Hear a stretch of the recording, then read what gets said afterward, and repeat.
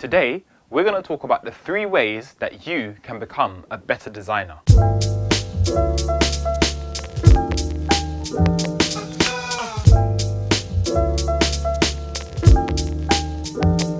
When it comes on to becoming a better designer, there are three key areas I think that all designers need to really pay attention to.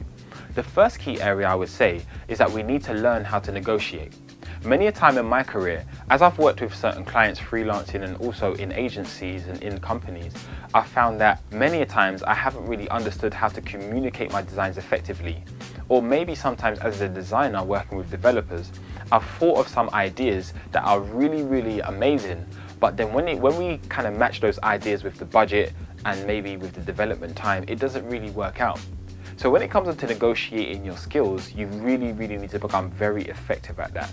And the best way I've learned to negotiate your skills is to understand uh, just a little bit about what other people do or understand more about who you are working with.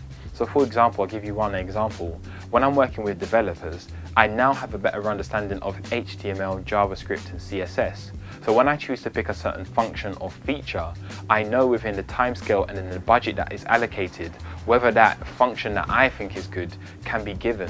Also, even if it may be a good feature, working with the developer directly, working with them and speaking with them and negotiating, going back and forth and finding the best solution will also allow you to create a better design set.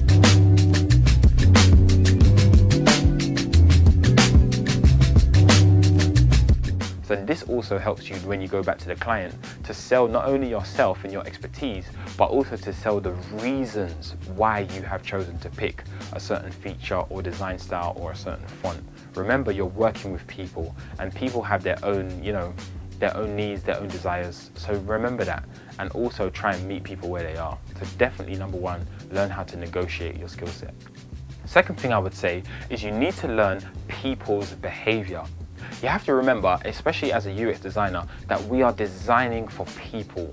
We're creating products or services that people will use at the end of the day.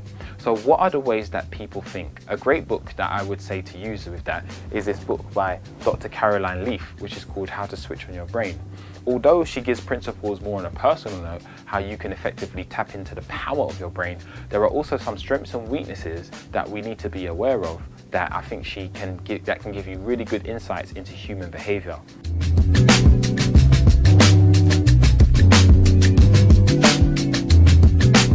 Another book I would say to use is called How We Decide by Jonah Lehrer. Great book that we can use that will also help us to understand more about human behavior as well. So definitely learn psychology or another way to put it is cognitive psychology, the reasons why we pick, the reason why we choose what we do. The third thing I would say is we need to learn how to listen. Remember, we have two ears and one mouth for a reason. And with those two ears, use it to your advantage. You have been blessed and been given these things. And especially when it comes to understanding the business goals, understanding the client's needs especially, and then on the flip side, to understand the user's needs, who am I designing this for? Then you can become more and more effective the more and more that you listen. Remember, you want to ask some key questions. Well, who is that customer? What is their hopes, fears, and dreams? And what solutions can we provide that not only meet their needs, but also exceed their needs that will help to build loyalty and trust?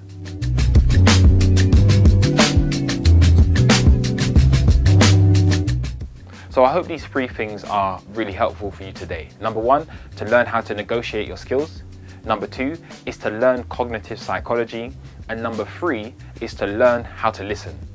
If you find this helpful today, then please just let me know. And also, if you can think of any other ways that we can become better designers, then definitely write them in the comments below.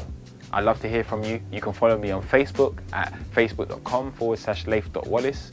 You can follow me on Twitter with at Laith Wallace. Also, you can follow me on Instagram, Laith underscore Wallace, and just hit me up and get connected with me please subscribe to this channel and look out for more videos coming soon from Wallace TV. Thank you for watching Digitive TV and if you've liked this video today, don't forget to download my free 25 point UX design checklist. It's really great. It's a checklist that will allow you to go through some of the key things that we may forget as UX designers. And even if you are a seasoned professional, it's helpful. And if you're a beginner, then it's definitely helpful for you. So download it for free and definitely go on my Facebook and just contact me and let me know what you think about it going forward. Take care.